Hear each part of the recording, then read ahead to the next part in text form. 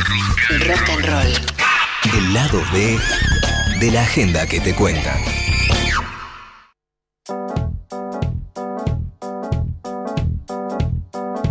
Bien, seguimos en Rock and Roll hasta las 9 de la mañana aquí por Nacional Rock. Ya está Miriam Bregman en los estudios de Radio Nacional, nuestra primera invitada precandidata a presidenta en los estudios. eh. Así que Miriam, un placer estar eh, debutando esta sección con vos. Así que muchas gracias por visitarnos. Por favor, yo les agradezco a ustedes y ante todos que empiecen por la izquierda. Bien. Es, es llamativo casi, ¿eh? Muy bien, muy bien. O sea que bien. vamos a terminar eh, mal. O sea, vamos a No terminar te muy- queda otra. Vamos a tener que terminar a la derecha. No lo veo a, a Javier Milei acá sentado. No lo veo. ¿Qué sé yo, viste? Según si le pagan. decís por necesidad. Que si le pagan va a, la, Ah, a mirá. las conferencias. Pero no estamos con muy buen presupuesto. Entonces De no hecho, creo. el otro día en el Congreso me dijo que lo estaba acosando porque le pregunté eh, qué expectativa tenía, nada más, y directamente él cuando no quiere contestar dice que los periodistas lo acosan. Así que bueno. eh, Ha tenido lo- varios lo- encontronazos con periodistas Sí. en el Congreso porque evidentemente no está acostumbrado a que le hagan preguntas Sí. por fuera de lo pautado. Bueno, y de hecho eh, pasa que por ahí cuando sale alguien le grita y me había adjudicado a mí armarle un escrache, eh, que se lo había armado yo, decía que el seguridad lo había visto y lo hizo público. Bueno, salí a contestarle en ese momento que no se crea tan... eh, No te creas tan importante. claro, No te creas tan claro, importante, que no sos el tan- centro de la Tierra. Y bueno, eh, pero bueno, es- eso es lo que sucede. Así que no sé si vamos a terminar tan a la derecha, pero la idea es hablar, eh, hablar con todos y bueno, está bueno a- arrancar con vos. Bueno, eh, Miriam, vamos a hablar del 8M, vamos a hablar de tu candidatura, vamos a hablar un montón de cosas, pero recién con, con Juan estábamos hablando un poquito de lo que sucedió eh, en El Salvador con Bukele. eh, co- ¿cómo, lo, ¿Cómo lo vivís vos? Nosotros no sabíamos cómo definirlo porque él me decía que por ahí aplica políticas eh, más progresistas, pero por otro lado... pasa En lo en económico. Un, aumento del salario mínimo, por ejemplo. Pero las imágenes estas que vemos son dantescas de la población carcelaria. Y Mm. pasamos el audio de Gustavo Petro, el presidente de Colombia, que lo denuncia. Pero acá hay una instrumentalización de básicamente de los sectores más conservadores, de, sobre la figura de Bukele y sobre estas Es lo más parecido. Yo soy querellante de hace muchos años en causa de lesa humanidad y he recorrido con sobrevivientes centros clandestinos, eh, algunos muy terribles, en condiciones de detención, te cuentan las condiciones de detención de las personas. eh, Timerman, por ejemplo, te digo un caso que me impactó entre todos los casos Sí. que me han impactado, compañeras como Nilda Eloy de La Plata. Y cuando veo lo de Salvador, te digo la verdad, lo- el primer recuerdo que tengo es ese, el hacinamiento, eh, medio metro por persona para estar alojado en ese lugar, las condiciones de desnudez. Es un trato inhumano, degradante, es una gran violación a los derechos humanos que lo quieren mostrar como una política de seguridad. Y cada vez que las políticas de seguridad quieren espectacularidad, hay que buscar qué es lo que está de fondo, ¿no? Claro. Como también la dictadura militar tenía un trasfondo. Ese terror de la dictadura militar en Argentina, y lo menciono porque se acerca un nuevo 24 de marzo, tenía como objetivo la miseria planificada de la que hablaba Rodolfo Walsh. No Sí. era que todo, que la tortura, digo, lo, lo decía Rodolfo Walsh a un año de ocurrido el golpe, ¿no? Con una claridad absoluta, ya en su carta abierta hablaba que todos esos métodos de tortura feroces que se utilizaban, las desapariciones y demás, tenían un objetivo de una transformación estructural del país, de una miseria planificada. Entonces, eh, creo que, que en una América Latina que se hunde, Mm. en la desigualdad, en la profunda desigualdad, lo estamos viendo en, en nuestro país, donde hubo movilizaciones de masas en, en las calles respondiendo, lo estamos viendo ahora en Perú, eh, aparecen estos sectores que eh, toman el aspecto lo que llaman seguridad para resolverlo eh, de una manera como si fuese un problema aislado y no un problema estructural de la sociedad. Entonces me parece que lo que hay que mirar para que nos sirva desde acá, porque acá también salieron muchas personas a elogiar esto, ¿no? He escuchado elogios, habría que hacer eso, yo haría lo mismo. Te iba a decir eso, ¿cómo, cómo analizás cuando, por ejemplo, el ministro de Seguridad bonaerense Bernie dice música para mis oídos? Lo que sucede en Salvador. Otro, otro de esos payasos que les gusta llamar la atención haciéndose los duros. Pero cuando la policía se le plantó muy duro, no fue. Él es muy duro con los sectores populares, con los pibes, a los que acosa con el gatillo eh, fácil. Tenemos el caso de Facundo Astudillo Castro. Ahí es guapo. Yo no, no lo vi actuar igual, no lo veo actuar igual con los casos terribles que se denuncian todos los días de la bonaerense. Por eso te digo, tiene un trasfondo, aumentar, incrementar las políticas de seguridad, eh, tiene un trasfondo en una situación social complicada. Si vos no, eh, si cualquiera que estudia a nivel mundial incluso, no tenés por qué pararte en un país, cuando, cuando aumenta el delito callejero, el pequeño delito y demás, está prácticamente relacionado en un 90% con el aumento de la desigualdad social, ni siquiera de la pobreza, porque a veces, ah, vos estás diciendo que... No, no, la pobreza no. La profunda desigualdad lleva a, esas situaciones. Entonces, venir a decir que es música para sus oídos, un centro clandestino de detención, bueno, ratifica sus condiciones ideológicas. Mucho más que eso no me dice, ¿no? Eh, Miriam, ¿cómo, ¿cómo, estás analizando lo que está sucediendo con esa gente que eh, está desencantada con la política, que muchas veces alguno está entre votar a, la derecha, a mi ley, o, votarte a vos, eh, que hay como una indefinición política? O sea, me pasa, ¿eh? me, ha pasado de estar encuestando en, la calle, no quiero decir que, sean eh, encuestas representativas de lo que realmente pasa, pero me pasa mucho que mucha gente dice son todos iguales, son todos corruptos. Sí, yo creo que hay un hecho que de la realidad que no se puede dejar de ver. Se van a cumplir este año 40 años de gobiernos constitucionales. Sí. Y si vos mirás que en el año 74 la pobreza era del 4% y hoy es del 40%, o que la desocupación era de 2, 3 puntos, una desocupación ínfima en nuestro país, y hoy estás hablando que, que para llegar a, a decir que bajó la desocupación tienen que contar planes sociales, tienen que contar trabajo precarizado, porque si no las cifras serían altísimas. Si vos mirás toda esa situación o que el salario mínimo hoy alcanza la mitad de lo que te alcanzaba en el 74, o sea, perdiste la mitad, te robaron la mitad de tu poder adquisitivo hay muchos índices que te indican y que te llevan a pensar por qué se crea ese sentimiento, porque gobernaron todos, gobernaron distintas variantes del peronismo, del radicalismo, los liberales gobernaron. Gobernaron las ideas de Milei. Él reivindica a Caballo, Caballo ya gobernó, fue ministro de Menem y de la Rúa y nos hundió en la crisis más feroz. Entonces es lógico que exista ese descontento, esa cierta impugnación incluso del sistema político. Ahora creo que las clases dominantes de nuestro país son bastante astutas y esto lo vienen viendo. Y luego de la empresa fracasada del gobierno de Mauricio Macri, donde habían vendido un poco, ¿no? Que una izquierda, una derecha moderna, que iba a, a solucionar todos los problemas del país, que abriéndonos al mundo Argentina salía para adelante. Ante el fracaso de eso, está muy fresca todavía esa experiencia, ante el fracaso del gobierno del Frente de Todos que no cumplió una sola de todas sus promesas electorales, empiezan a ponerle fichas y el poder económico lo apoya y el poder mediático apoya la creación de estas figuras de ultraderecha como, como Milei para que el descontento social sea canalizado hacia ahí. Porque Milei se puede enojar porque vos le dijiste algo en la vereda, se puede despeinar, pero es lo más conservador y sus ideas atrasan 150 años. Entonces, creo que hay una construcción para que el descontento no, no sea canalizado por izquierda, es decir, cuestionando los privilegios de las clases dominantes, cuestionando que en el reparto de la torta bajo el gobierno del Frente de Todos se ganaron 10 puntitos los sectores más concentrados de la economía, sino al revés Fíjate que lo que te dice mi ley es volver 150 años atrás en derechos laborales, eh, unos 100 en derechos de las mujeres, es decir, es una política totalmente conservadora. Incluso cuando él dice destruir el Banco Central, ¿qué quiere decir? Que se puedan fugar todo, que esto sea eh, un viva la pepa total. O sea, si hoy hay un gran problema en la Argentina, que es la fuga de capitales, imagínate sin ni siquiera un mínimo resguardo. Bueno, al revés de lo que decimos nosotros, control de los trabajadores sobre eh, un, comercio exterior nacionalizado, control, sobre todo eso, él dice, no, ¿qué control?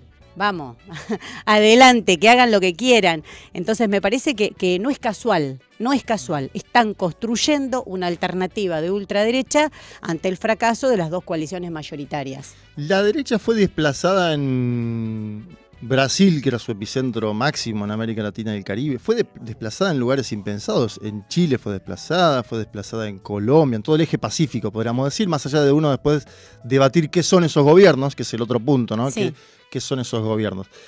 Eh, la Argentina, después de la experiencia del PRO, que fue, creo que todos la caracterizamos como negativa, después del préstamo del Fondo Monetario, el más importante de la historia, ¿por qué tiene chances hoy de volver ese espacio político a la presidencia de la Argentina? Uf, es la, la, la pregunta, la pregunta. Mira, primero que eso que vos decís, que la derecha ha sido cuestionada en toda América Latina, en Argentina no se habla. Estamos como a contrapelo, ¿no? Acá parece que no te queda más que elegir entre derecha, derechista y derechón. Son Sí. todas las opciones que tenés. En todas las coaliciones no, no te dan opción, ¿no? Es esto de lo que está pasando en América Latina, como los gobiernos eh, eh, neoliberales que eran puestos como ejemplo, Perú, Chile, eh, fueron cuestionados por las masas de la calle. Acá eso no se habla, no se dice. Y como digo, más allá de cuál sea el resultado de, de esas experiencias, yo creo que el, el- el hecho de que el Frente de Todos haya adoptado los dogmas neoliberales, tales como pagar la deuda. Es una gran concesión. Mira, si vos decís el que trae esta deuda infame y te presentás una querella como hizo Alberto Fernández en tribunales y decís no hay que pagar la deuda y otros sectores acaban solicitadas contra el Fondo Monetario. No me lo olvido más porque me invitaban a firmarla. ¿Ahí estabas un poco en sintonía con, con la parte más vinculada a Máximo Kirchner? O... No, yo opino que la deuda es ilegítima, ilegal, siempre lo opiné. Y esta deuda del fondo es algo que, no sé, ni al mayor de los estafadores se le puede ocurrir eso como un bono a 100 años de Caputo.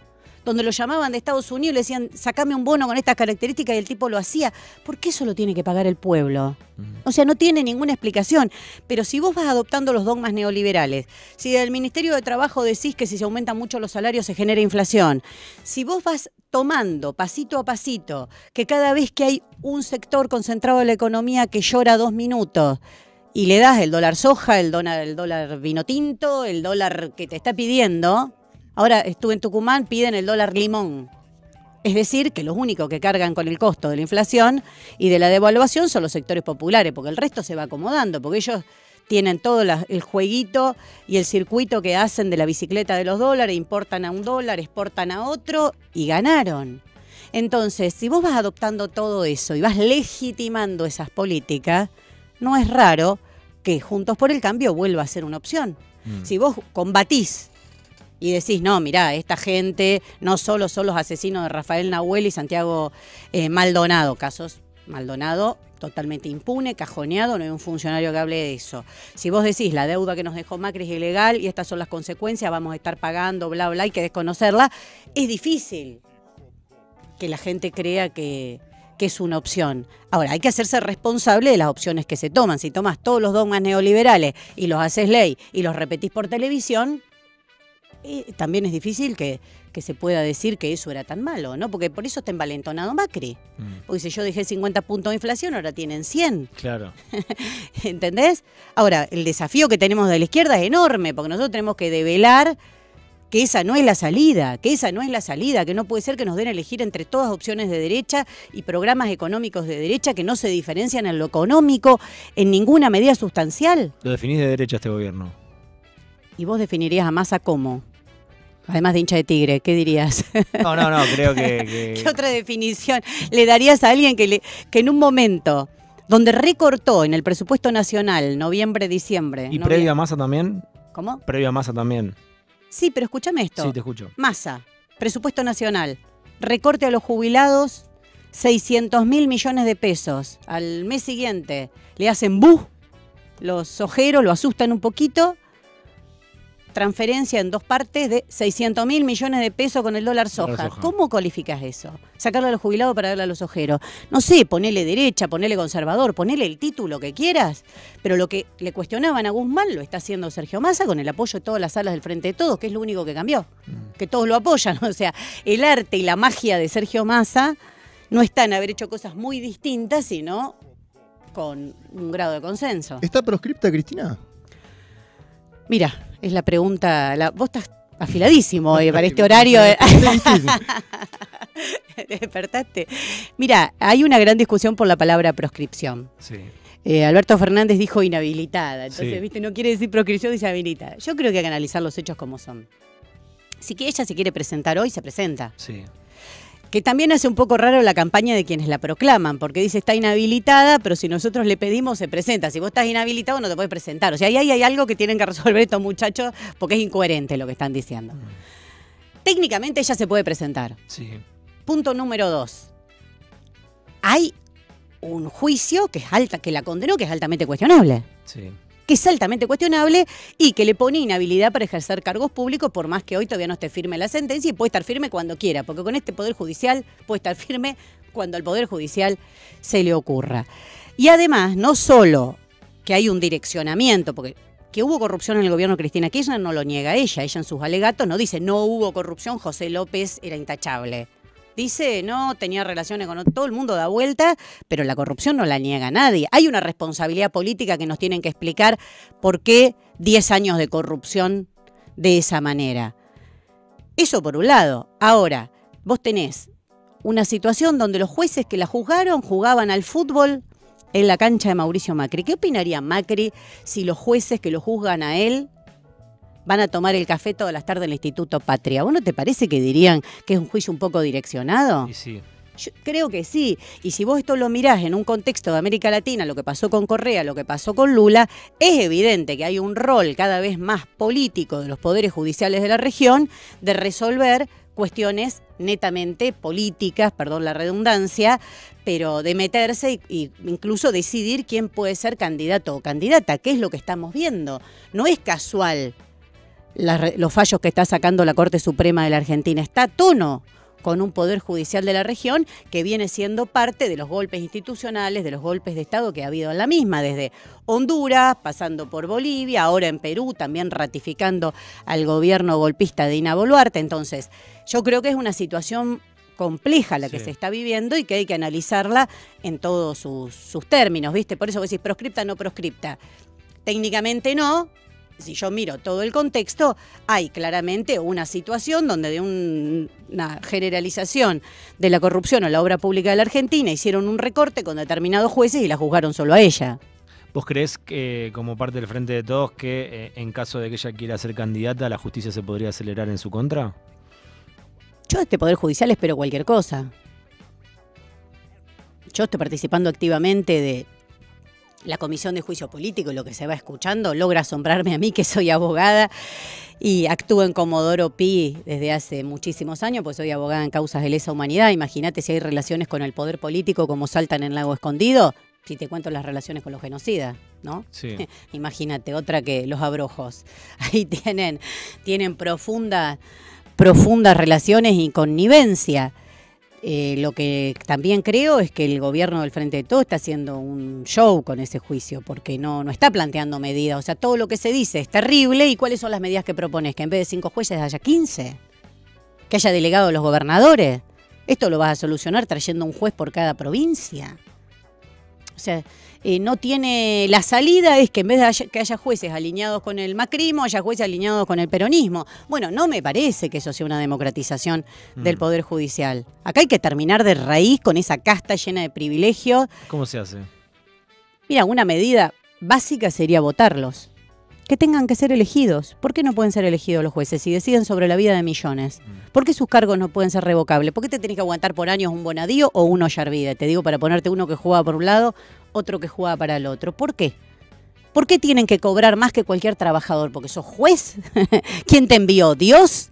Viste, hay unas concepciones. Pagar ganancia no pagás ganancia. ¿Por qué? porque yo me autopercibo que me afecta mi, la intangibilidad de mi fallo. Mira, no te afecta la intangibilidad de tu fallo, no te afecta la independencia de tus fallos, ir al lago escondido, no te afecta la independencia de tu fallo, ir a jugar al fútbol a los abrojos, la quinta de Macri. Ah, pero si, si tengo que pagar un impuesto que paga hasta el último laburante, eso hace que pierda mi independencia. Parece un chiste. Parece un chiste, pero no es lo que estamos discutiendo en la Comisión de Juicio Político, ¿eh? ¿Y qué, qué pensás que va a pasar con Stornelli, que ayer tenía que ir a declarar y no, y no fue a declarar? Y Stornelli es un poco como el ala dura, ¿no? porque fue hasta el juez Ramos, que estuve presente, fue una cosa terrible lo que se vio ahí. Eh, ¿Qué sé yo? Stornelli está, parece como en todo, está dispuesto a resistir.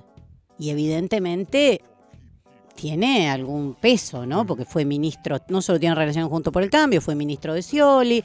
Se ve que el señor tiene múltiples relaciones que le permiten además seguir siendo fiscal, a pesar de las acusaciones que tiene. Nosotros tenemos un juicio oral 14, 15 y 16 de marzo contra Américo Balbuena, un agente de la Federal del grupo de Yossi, le sonará por la serie. Bueno, él es uno de ese grupo, los Plumas de la Federal, la Inteligencia de la Federal, un cuerpo que armó Onganía y que nunca más se desarmó, de inteligencia totalmente ilegal de la Policía Federal. Eh, este personaje formaba parte de su cuerpo y bueno, después de, de 10 años, en el, en el 2013 hicimos la denuncia, después de 10 años, ¿no? Estos son los ritmos como Pi, llega a juicio oral él con sus dos jefes. Stornelli al principio no se metía, o sea, no cumplía su rol de fiscal, no se metía. En el último tiempo empezó a cobrar una actividad mucho mayor para buscarle problemas a las querellas. O sea, a las víctimas nos busca, firmaste esto, no firmaste lo otro, para ver si el juicio se cae. Bueno, ese es Stornelli, es decir, es una persona que claramente está del lado de las fuerzas represivas, que claramente está involucrado en hechos gravísimos y hay que ver hasta dónde le da la nafta para resistir y venir a, a declarar. Y si viene, si va a decir algo también, ¿no? Porque puede venir y quedarse sentado ahí. Pero que tiene mucho apoyo, tiene mucho apoyo. Pero, por ejemplo, lo llaman a declarar una vez más y no va. ¿Se le puede, mm, no sé si se, llama sacarle los fuera, no sé cómo, es técnicamente, pero ¿se puede que vaya a declarar? Sí, ayer e, eso era lo que pedían para poder traerlo por la fuerza pública, pero eh, no, no, te puedo contestar con mecanismos formales, con un consejo de la magistratura que está estallado. Mm. Ahora, el Consejo de la Magistratura, gran invento de la Constitución del 94, ¿ayudó a terminar con la rosca y las servilletas donde se designaban los jueces o lo profundizó? Lo profundizó. Mm. Entonces, por eso te digo, acá no hay un problema de seguir discutiendo el huevo y la gallina. Acá lo que hay que discutir es terminar con esas estructuras. El Consejo la Magistratura es la legalización de la rosca. Y siempre digo, cualquiera que nos escuche dice, ¿a mí eso qué me importa? ¿Qué tiene que ver conmigo? Bueno, tiene mucho que ver. Esta Corte Suprema legalizó el monotributo como forma de contratación. Mm. Cuando vos estás precarizado, y si yo soy empleado de esta empresa, ¿por qué tengo que pagar mi monotributo como que soy un trabajador independiente? Bueno, sabe que hay una gran responsabilidad en el gobierno de turno, en este caso del Frente de Todos, que eso exista y que no se blanquee a esos trabajadores, y en segundo lugar a la Corte Suprema, que lo legalizó. Es decir, ellos inciden sobre la vida de miles y miles de personas todos los días. Miriam, tenemos que cerrar, se me hizo recorta la charla porque en un minuto viene Mex Urtiz con, con, el, con el mañana. Quería preguntarte, bueno, hoy es 8M, ¿cómo tomás que en ese contexto, un día antes, Horacio Rodríguez Larreta diga que hay que cerrar el Ministerio de la Mujer o llevarlo a una secretaría? Creo que de acá a las elecciones vamos a ir escuchando todo tipo de barbaridades porque no tienen ideas que enamoren. Las dos coaliciones mayoritarias no tienen ninguna idea que puedan encantar a nadie entonces buscan espectacularidades, frases rimbombantes, que en general son de derecha, ¿viste? Porque también tampoco vas a pedir que se le ocurra a Horacio Rodríguez Larreta algo muy progresista. Frases para llamar la atención y votar contra el otro. El otro es peor que yo. El otro hizo algo peor que yo. El desafío que tenemos desde el Frente Izquierda, y por eso eh, voy a, tomar con todo este, esta propuesta que tomo con orgullo a mis compañeros del PTS en el Frente de Izquierda, que va a ser discutido obviamente en todo el Frente después de ser precandidata a presidenta, es poder mostrar que la izquierda es la única que tiene una idea de futuro, que no hay por qué seguir acostumbrándose a trabajar sin derechos, a la violencia de género, para mencionar hoy en este 8 de marzo, eh, y que el presupuesto más bajo de todo el presupuesto nacional sea el del Ministerio de la Mujer. Es decir, hay muchas cosas que nosotras tenemos que, cuestionar y como te digo, eso es el desafío que tenemos para adelante. Muchas gracias por venir acá hasta los estudios, Miriam, ¿eh? y charlaremos seguro nuevamente en breve. Muchas gracias. Gracias Miriam Breckman, gracias Juan Manuel Carr, eh, gracias eh, Juan Selva, así, bien. Nasa Taliche, Pablito acá también Vázquez coordinando, Julito Cortés ayudándonos con todo lo que tiene que ver también con, la producción y con los invitados. Eh, en este caso eh, ha sido el debut de los políticos y en este caso Política en Piso. Nos vemos eh, mañana a las 7 de la mañana con equipo completo, con Pedro Castañares, con Anita Sánchez aquí en Nacional Rock. Un saludo a Mex.